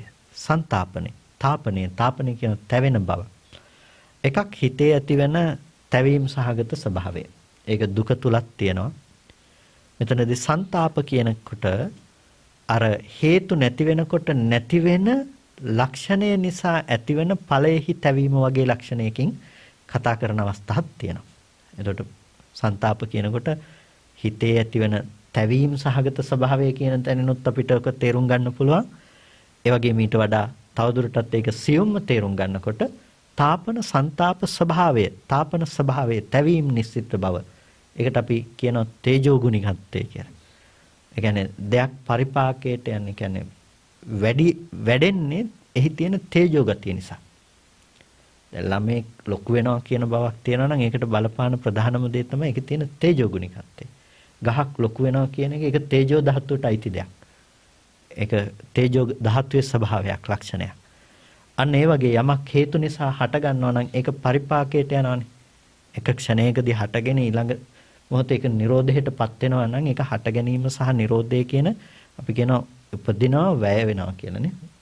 එතකොට මේ උපාදයේ ඨිතිය සහ භංගය කියලා අපි අවස්ථා තුනක් කතා කරනවා. පටන් ගන්න තැන ඉඳලා වැය වෙන තැන දක්වාම මේකේ පරිපාකමේ ගතියක් තියෙනවා. ඒක තමයි ਸੰతాප ස්වභාවය කියලා කියනවා. ඒක බොහොම ගැඹුරින් කතා කරන දෙයක්. හැබැයි ඒකට වැඩි මම අවධානයක් දෙන්නම්කෝ අපි ਸੰతాප ස්වභාවය කියනකොට මානසිකව ඇති වෙන තැවීම කියන තැනින් ගන්නකො. ඒ දේත් මේකට ඇතුළත්. ඒ වගේම විපරිණාමාර්ථය විපරිණාමය කියලා කියන්නේ වෙනස් බවකට පත්වීම කියන එක. එතකොට වෙනස් ස්වභාවයකටපත් වෙනවා. ඒ හේතු ටික ආපහු උපදින්නේ නැහැ. ඒක වෙනස් බවකටපත් වෙලා නැති වෙලා යනවා. ඒක තමයි ස්වභාවය. එතකොට දුක තේරුම් ගන්නකොට අපි දුක්ඛාරය සත්‍ය මේ ඔක්කොම එකට ප්‍රතිබද්ධ වෙන් කරන්න බැරි ලක්ෂණ මේවා. එතකොට මේ අපි දුක්ඛාරය සත්‍ය හැටියට තේරුම් ගන්න ඕනේ අන්න ඔය කරුණු ටික. එතකොට ඔය තමයි දුක්ඛාරය සත්‍යෙහි අවබෝධය අපිට ඇති වෙන්නේ ඔය ටිකින් ඔය ටික මත තේරුම් ගත්තොත්. ඔක සැප වේදනාවටත් පොදුයි, දුක් වේදනාවටත් පොදුයි, උපේක්ෂා වේදනාවටත් පොදුයි හැම තැනකටම පොදුයි. ඔය දුක ගැන අවබෝධ කරගන්න දුක්ඛාරය සත්‍ය විදිහට අවබෝධ කරගන්නකම මේ හැම තැනකටම පොදුයි. ඒක එක එක තැනකට විතරක් දුක් වේදනාවට විතරක් කොටු කරලා නෑ. එතකොට අපි తాවකාලිකව සැපයක් වින්ද කියලා අපි දුක්ඛ සත්‍යයෙන් මිදිලාද? නෑ. උපේක්ෂාවක් උපද්දගත්ත කියලා දුක්ඛ සත්‍යයෙන් මිදිලාද? නෑ. කොතනකවත් ඒක මිදීමක් අපිට ඇත්තේ නෑ. ඒ නිසා තුන් භූමිය අනුව ගිය සියලු ධර්මයන් අපට පේනවා මොකක් කියලා. දුක්ඛාරය සත්‍ය මත පිහිටි දුක්ඛාරය සත්‍ය මත පදනම් වූ දේවල් කියලා අපිට තුන් භූමිය අනුව ගිය සියලු ධර්මයන් දකින්න පුළුවන්කම තියෙනවා. ඔන්න එතකොට කාම ලෝකෙ දුක්ඛාරය සත්‍ය ඇතුලේ රූප ලෝකෙ දුක්ඛාරය සත්‍ය ඇතුලේ අරූප ලෝකෙ දුක්ඛාරය සත්‍ය කියන එක ඇතුලේ සංග්‍රහ වෙනවා. එතකොට මෙන්න මේ දුක්ඛාරය සත්‍ය යම් තැනක තියෙනවා නම් ඒ දුක්ඛාරය සත්‍ය ඇත්ත නොදැනගත්තොත් එතන දුක උපදිනවා. ඒකේ ඇත්ත දැක්කේ නැත්නම් එතන දුක උපදිනවා. ඒ නිසා අපිට මෙතනත් දුක් වෙන්න පුළුවන්, දිව්‍ය ලෝකෙක ගියත් දුක් වෙන්න පුළුවන්, බ්‍රහ්ම ලෝකෙක ගියත් දුක් වෙන්න පුළුවන්කම තියෙනවා. ඇයි ඇත්ත නොදන්නකම තියෙන නිසා දුක් වෙන්න පුළුවන්කම තියෙනවා. ඇයි දුක් වෙන්න පුළුවන්කම තියෙන්නේ? දුක් වෙන්න කෙනෙක් ඉන්න නිසා. දුක් වෙන්න කෙනෙක් ඉන්න අපිට මම ඉන්නවනේ. හැම වෙලාවකදීම අපිට මම ඉන්නවා. අන්නේ මට පුළුවන් වයසට යන්න, මට පුළුවන් මැරෙන්න, මට පුළුවන් දුක් වෙන්න. එතකොට ඒ පුද්ගල බව මත ජීවිතේට දුක ගලාගෙන ඒම ස්වභාවයෙන්ම සිද්ධ වෙනවා. ඒකට අන්න ඒ දුක කියන දේ සම්පූර්ණම පදනම් වෙලා තියෙන්නේ අර ඇත්ත දුක්ඛාරය සත්‍ය පිරිසිඳ නොදැකීම කියන දේ මත තමයි දුක කියන දේ පදනම් වෙලා තියෙන්නේ. එතකොට ඒ දුක නැති කරන්න නම් අපි මොකද්ද කළ යුතු වෙන්නේ? දුක්ඛාරය සත්‍ය පිළිබඳව අවබෝධය ඇති කරගත්තොත් එයාට දුක නැති වෙනවා. ඇයි දුක නැති වෙන්නේ? දුක උපදින්න හේතු වෙන දේ නැති වෙන නිසා. ඔගොල්ලෝ දුක් වෙන්න වෙන දෙයක් ගැන නෙමෙයි. ඔගොල්ලෝ අපේ ජීවිතවලට දුක ගලාගෙන එන්නේ අපි ජීවත් වෙන සංකල්පමය ලෝකයේ ඇත්තවීම තුල. කොටස් දෙකක් තියෙනවා. එකක් යථාර්ථ ලෝකය, එකක් අපි ජීවත් වෙන ලෝකය. අපි ජීවත් වෙන ලෝකයේ තියෙන අර යථාර්ථවත් ලෝකයේහි ඇත්ත නොදන්නාකම මත ගොඩනගාගත්ත දේ විදිහට තමයි අපි හදාගත්ත ලෝකේ තියෙන්නේ. යථාර්ථවත් පවතින ලෝකේ නොදන්නාකම මත ගොඩනගාගත්ත ලෝකයක් ඇතුලේ. ওই ගොඩනගාගත්ත ලෝකයේ ඇතුලේ අපිට අම්මා තාත්තා, ගෙවල් දොරවල්, වටින නොවටින වස්තු මේ හැම දෙයක්ම තියෙනවා. අපිට දුක් විඳින්න පුළුවන්කම තියෙනවා. සංසාර ප්‍රවර්තනය උතන තියෙනවා. හැබැයි අර යථාර්ථවත් ලෝකයේ එහෙම දෙයක් ඇත්තේ නෑ. ඒක සිද්ධ වෙන්නේ ඒ ඒ මොහොතට හටගෙන නිරුද්ධ වෙන ධර්මතා ටිකක්. ඒකේ ඇතුලේ අම්මා තාත්තා නැහැ. ඒකේ ඇතුලේ සිද්ධ වෙන්නේ අර ධර්මයන්ගේ පැවැත්ම. හට ගන්නවා නිරුද්ධ වෙනවා. ඒක ඒක තමයි පවතින්නේ. ඔගොල්ලෝ කවදාවත් ඔගොල්ලොන්ගේ අම්මව ඇස් දෙකට දැකලා තියෙනවද? ඔගොල්ලෝ කවදාවත් ඔගොල්ලොන්ගේ අම්මව ඇස් දෙකට දැකලා නෑ මේකෙන් මේකෙන් ගන්න එපා දැන් අර අපි ලෞකික මට්ටමේ හිතන ලෞකික සම්මාදිට්ඨිය කියන දෙයට පදනම් වෙන දේ ගැන නෙමෙයි මේ කතා කරන්නේ මේ කතා කරන්නේ මොකද්ද? මේ ශාසනය යන්න පුළුවන් ගැඹුරුම තැනක්. ලෝකෝත්තර සම්මාදිට්ඨිය පිළිබඳව. ලෞකික සම්මාදිට්ඨිය පදනම් කරගත්ත කෙනෙකුට ඒ මත පිහිටි කෙනෙකුට තමයි එතනින් එහාට මේක කතා කරන්නේ. ලෞකික සම්මාදිට්ඨියවත් නැති කෙනෙකුට ලෝකෝත්තර සම්මාදිට්ඨිය කොහෙත්ම නෑ. ලෞකික සම්මාදිට්ඨිය තුළ පදනම තියාගත්ත කෙනෙකුට තමයි ලෝකෝත්තර සම්මාදිට්ඨිය කතා කරන්නේ.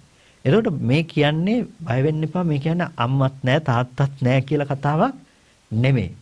මේ කියන්නේ යන්නේ මොකද්ද? මෙතන තියෙන ප්‍රශ්නය දැනගැනීමේ නෙමෙයි ප්‍රශ්නේ තියෙන්නේ. ප්‍රශ්නේ තියෙන්නේ කොතනද? අපි දැනගන්න දේ අපි ඇත්ත නොදන්න කම නිසා බාහිරට ප්‍රක්ෂේපණය කිරීමේ. අම්මා කියලා දැනගැනීමෙහි ප්‍රශ්නයක් නැහැ. දැනගන්න දේ දැනගැනීමක් හැටියට නුවණක් තියෙනවනම් අම්මා කියලා දැනගන්න එක ප්‍රශ්නයක් නෑ දැනගන්න දේ දැනගන්න දෙයක් හැටියට නුවණ තියෙනවනම් හැබැයි ප්‍රශ්නේ තියෙන්නේ දැනගන්න දේ තියෙන දේ කියලා හිතන එක. gedara මතක් කරගන්න ඕගොල්ලන්ට ප්‍රශ්නයක් නෑ. ඕගොල්ලෝ gedara කියලා එතන මතක් කරගත්ත එක ඇත්ත දකින්නවනම්. ඒක දැනගන්නවා නම් දැන් gedara කියලා ඕගොල්ලෝ දැනගත්තේ ඕගොල්ලෝගේ හිතින් උපද්දපු දෙයක් කියන එක ගැන ඕගොල්ලන්ට දැනගන්න පුළුවන් නම් ඔයගොල්ලන්ට ප්‍රශ්නයක් නැහැ. හැබැයි ප්‍රශ්නේ තියෙන්නේ දැන් ඔය හිතන gedara එළිය තියනවා කියලා හිතන එක නා. දැන් gedara බලන්න යන්න පුළුවන්. එතකොට ඔයගොල්ලෝ ඒ ගෙදෙට්ට බැඳිලා තියෙන තරමට ඒක නැති වුණොත් දුක වෙන්න දුක විඳින්න පුළුවන්කම තියෙනවා. එතකොට දැන් අපිට අපි ජීවත් වෙන ලෝකයේ තමයි gedare තියනවා කියලා හිතාගත්ත ලෝකේ යථාර්ථය මොකද්ද? කවදාවත් ගයක් පනවන්න බැරි ලෝකය. එතන තිබිලා තියෙන මොනවාද? ස්කන්ධ ටිකක්. රූප, වේදනා, සංඥා, සංඛාර, විඥාන. ඔය ස්කන්ධ ටික තමයි පැවතිලා තියෙන්නේ. ඒ ස්කන්ධ ටික නිරුද්ධ වෙනවා. එතකොට ඔය ස්කන්ධ ටික මත කිසිමම දෙයක් පුද්ගලයෝ සත්වය ඇත්තේ නැහැ. ඇහැට යමක් පේනවා කියන තැනකදී සිද්ධ වෙන්නේ ස්කන්ධ ටිකක් උපදිනවා කියන එකනේ. එතකොට ඕකේ මම ඉන්නවද? තව දෙයක් තියනවද? නැහැ. අපිට මෙතන මේ කෝප්පය පේනවා. පේනකොට බලන්න ඇහැට රූපයක් තමයි පේන්නේ මේ. ඇහැට රූපයක් පේනකොට ඇහැ රූප කියලා කියන්නේ මොකද්ද? මේකට කියනවා රූපස්කන්ධය කියලා. ඇහැට පතිත වෙන්නේ පෙර නොවුණු වර්ණ සටහනක් ඇහැට මේ වෙලාවේ වැටෙනවා. පෙර නොතිබුණු ඇහැකින් අර පතිත කරගත්ත වර්ණ සටහන ගෝචර කරගෙන තියෙනවා. අලුතෙන්ම ඇස ඇසුරු කරගත්ත සිතකින් අර වර්ණ සටහන පිළිබඳව දැනගෙන තියෙනවා. ඔන්න ඔය තුන් දෙනා නිසා දැන් පේනවා කියන එක සිද්ධ වෙනවා. එතකොට ඔතන පෙනීම කියන දේ සිද්ධ වෙනකොට කරුණු කීයක් තියනවද? කරුණු තුනයි. ඒ තුන අපි බෙදලා ගත්තොත් ස්කන්ධ පහයි. මොනවාද? ඇස සහ රූපය කියන එක රූප පැත්තේ තියෙන්නේ. ඒකට කියනවා රූපස්කන්ධය කියලා.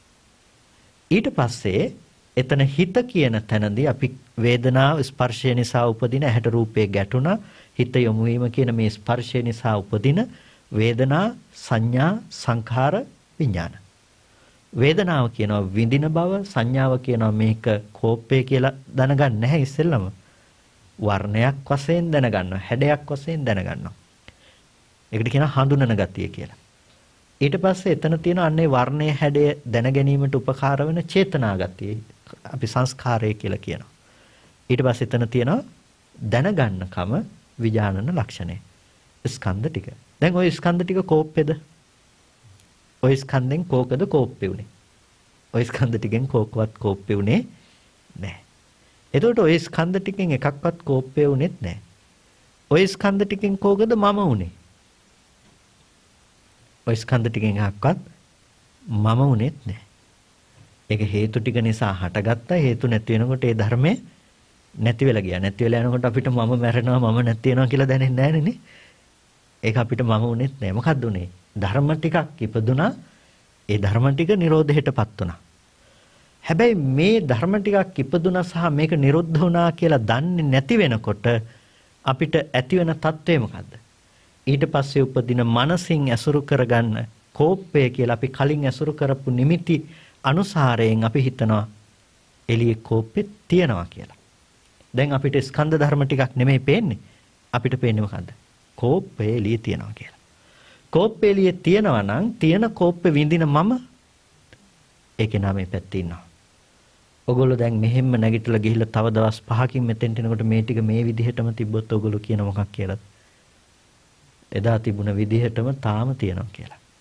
ඔගොල්ලෝ ඒක ඇතුලේ තව කතාවක් කියනවා. මම එදා ඉඳලා ජීවත් වුණා කියලා. ඒ නිසා ඔයගොල්ලන්ට අවුරුදු 50ක් 60ක් 70ක් 20ක් 30ක් වෙන ඔයගොල්ලන්ට මම හම්බෙනවානේ. මොකක් මතද ඒක ගොඩනැගිලා තියෙන්නේ?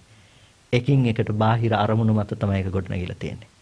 දැන් මේ කෝපය දැකපු ඔයගොල්ලන්ට මේසේ දකින්න පුළුවන් මේසේ දැකපු ඔයගොල්ලන්ට මල් ටික දකින්න පුළුවන් මල් ටික දකින ඔයගොල්ලන්ට මේ කියන දේ අහන්න පුළුවන් එතකොට ඔයගොල්ලන්ට කෝප්පේ දැකපු ඔයගොල්ලන්ට තමයි මේසේ දකින්න පුළුවන් වෙලා තියෙන්නේ ඇත්තටම මේසේ දැක්කේ කෝප්පේ දැකපු කෙනාද?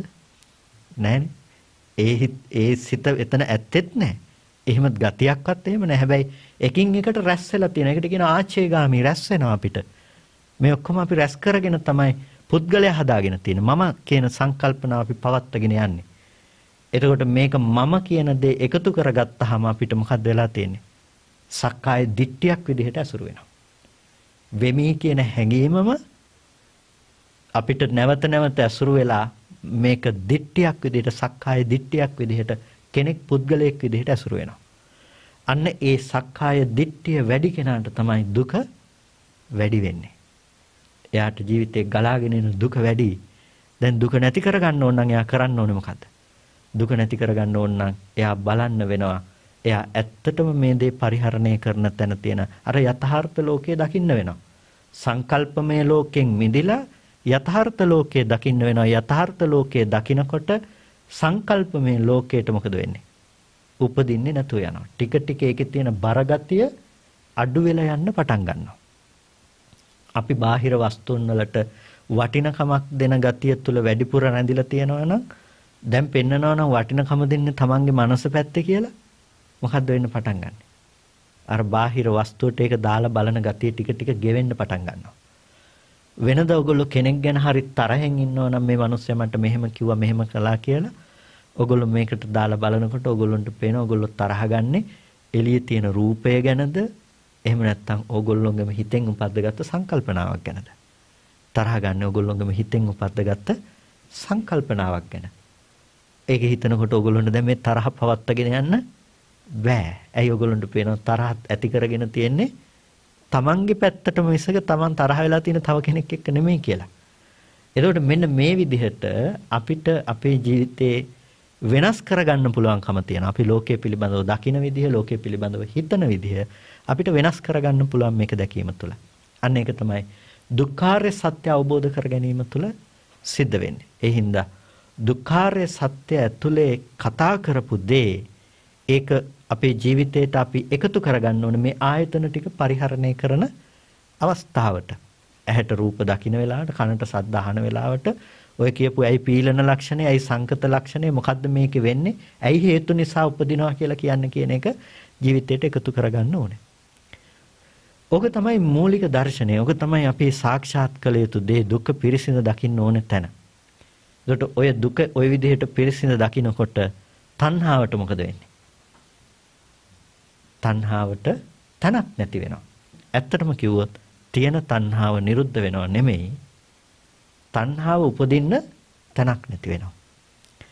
අපි ලෝකේ තණ්හාව නැති කරනකොට අපි සාමාන්‍යයෙන් අපි හිතන ක්‍රමවේදයට වෙන්නේ මොකද්ද? තණ්හාව නැති වෙන එකනේ. මේකට ආස කරන්න හොඳ නෑ මේවා ආදීනව බහුලයි මේක මේ විදිහට කිරීම තුළ මෙහෙම දේවල් වෙනවා කියලා අපි ඒක දැකලා අපි ඒකට තණ්හා නොකිරීම කියන දේ පුරුදු කරනවා. එකෙන් වෙන්නේ මොකද්ද? තණ්හාව යටපත් වෙලා යන එක. මේකෙදි කරන්නේ මොකද්ද? තණ්හාව උපදින්න තියෙන හේතුව නැති කරනවා. මොකක් ගැනද තණ්හාව උපද්දන්නේ? ඔයගොල්ලන්ට පේන්නේ ස්කන්ධ ටිකක් හටගෙන ස්කන්ධ ටිකක් නිරුද්ධ වෙන එක නා. ආයතන ටිකක් හටගෙන ආයතන ටික නිරුද්ධ වෙන එක නා. දැන් මොකක් ගැනද තණ්හාව උපදින්නේ? තණ්හාව උපදින්න හේතුවක් නැහැ. තරහ තියනවා මෛත්‍රියෙන් තරහ නැති කරලා නෙමෙයි. තරහ උපදින්න හේතුවක් නැහැ. මොන ස්කන්ධය ගැනද තරහ පවත්තන්නේ? තරහ පවත්තන්න ස්කන්ධයක් හම්බ වෙන්නේ පුද්ගලයෙක් වුණත් තමයි පවත්තන්නේ. එතකොට අර සංකල්පමය වශයෙන් හදාගත්ත ලෝකෙත් තියෙන ඔක්කොටම පැවැත්මක් නැති වෙලා තියෙනවා. මේ යථාර්ථ ලෝකයේ ප්‍රතිවේද කිරීම තුළ. එතකොට කියනවා අර සමුදේ පාක්ෂික ධර්ම උපදින්නේ නැති වෙලා. ඒක උපදින්නේ නැත්තේ මොකක් නිසාද? Nirodhaය සාක්ෂාත් කළ නිසා. මොකද්ද Nirodhaය? අපි දැක්කා ඇහැ අනිත්‍යයි ඒක නැති වෙලා යනවා රූපය අනිත්‍යයි චක්කු විඥානය නිරුද්ධයි ඒ ධර්මය නිරුද්ධ වෙලා යනවා කියන එක දැක්ක අනිත්‍යයි කියන එක දැක්කා ඒක දැකීම තුළ ඒ ධර්මයන්ගේ Nirodhaය දැකීම තුළ තමයි අපිට මේක තණ්හාව දුරු කරන්න පුළුවන්කම ලැබුණේ තණ්හාවගේ නිර්වශේෂ නිරෝධයෙන් ආයේ උපදින්න පොඩි හේතුවක්වත් නැහැ. ඒක තමයි දුක්ඛ නිරෝධය. ඒකට ඒක සඳහා අපිට තියෙන අනුපූර්ව ප්‍රතිපදාවක්. ඒ සඳහා අපිට නිකම්ම මේ දර්ශනය කතා කරලා අතහැරෙන්නේ නැහැ. දැන් ওই කතා කරපු දෙයට එකපාර කෙනෙකුට යන්න පුළුවන් කමක් නැත්තේත් නෑ. මනස ක්‍රමානුකූලව භාවිත කරන්න සිද්ධ වෙනවා. කෙනෙකුට හිතෙන්න පුළුවන් බාහ්‍ය දාරුචිරේ හැමතුරු අහගත්ත ගමන් මෙහෙනම් රහත්ුනේ කියලා. සසර ඉන්ද්‍රිය ධර්ම පුරුදු කරලා දියුණු කරලා දියුණු කරලා හරියට නෙළුම් මලකට මුහුකුරා ගිහිල්ලා සම්පූර්ණම ඉරේලිය යන්තම් වැටෙන්න විතරයි ඕනේ පිපෙන්න වගේ ඉන්ද්‍රිය මුහුකුරා ගියපු මට්ටමක අපි මේක දවස පුරා දාගෙන අහලා තේරුම් ගන්න බැරි මට්ටමක ඉන්ද්‍රිය තියෙන අපි සංසන්දනය කිරීම සම්පූර්ණම ගැළපෙන්නේ නැති දෙයක් නේ මහා විශාල පර්වතයකුයි පොඩි ගල් කැටයකුයි කොහොමද එක සමාන වෙන්නේ කියලා හිතනවා වගේ ඒ වගේ අපේ ඉන්ද්‍රිය සමාන භාවය සමානතාවයක් ඇත්තේ නෑ උන්වහන්සේලාත් එක්ක බලනකොට. ඒ නිසා සංසන්දනය කරලා බලලා හරියන්නේ නෑ. ඒකෙන් කියන්නේ ධර්මයේ ලඟුයි කියලා නෙමෙයි. උන්වහන්සේලා ඉක්මනට අවබෝධ කරගත්තා. ධර්මයේ නිසා බොහොම සරලව අපිටත් තේරෙන්න ඕනේ කියලා න්‍යායක් ඇත්තේ නෑ. අපේ ඉන්ද්‍රිය අඩු නම් අපිට මොකද්ද කරන්න වෙන්නේ? නැවත නැවත මේක භාවිත කරන්න සිද්ධ වෙනවා. එතකොට මේක එකට යන්න තියෙන මාර්ගය තමයි මොකක්ද ආර්ය අෂ්ටාංගික මාර්ගය. සම්මා දිට්ඨිය මූලික කරගත් ආර්ය අෂ්ටාංගික මාර්ගය. ආපහු සම්මා දිට්ඨිය තමයි මුලට එන්නේ. එතකොට මොකක්ද ආපහු කියන්නේ? සම්මා දිට්ඨිය කියන්නේ මොකද්ද? දුක්ඛේ ඥානං දුක්ඛ සමුදය ඥාන ආපහු දුක පිළිබඳව දන්නකම තමයි සම්මා දිට්ඨිය. එතකොට දුක ගැන අවබෝධ කර ගැනීමේ ඒ දර්ශනය ජීවිතයේ ඇතිව දැන් තමන්ගේ වාචා කම්මන්තා ජීවාදී මේ අනික් අංග ටික සම්පූර්ණම යහපත් පැත්තෙන් අරගෙන යන්න අවශ්‍යයි. කියන්නේ මේක ප්‍රායෝගික ජීවිතය තුළ දැන් අපි භාවිත කරන්න පටන් ගන්න ඕනේ. මේක පුරුදු කරන්න ඕනේ දැන්. එතකොට මේක පුරුදු කරනකොට ඔයගොල්ලන්ට ක්‍රම දෙකක් ලැබෙනවා ප්‍රායෝගික ජීවිතය තුළ මේක පුරුදු කරන්න. මොනවාද? සමත සහ විපස්සනා. සමතේ තියෙන්නේ සිත එකඟ කර ගැනීම. ඇයි අපි සිත එකඟ කරගන්නේ? හිත අරමුණු වල ගොඩක් විසිරිලා තිබ්බොත් අපිට මේ යථාර්ථය තේරුම් ගන්න පුළුවන් කමක් නැත්තේ නෑ. හිත අරමුණු වල ගොඩාක් විසිරිලා නම් මේ ඇත්ත තේරුම් ගන්න බෑ අපිට. අන්න ඒ නිසා අපි මේ යථාර්ථය තේරුම් ගන්නට නම්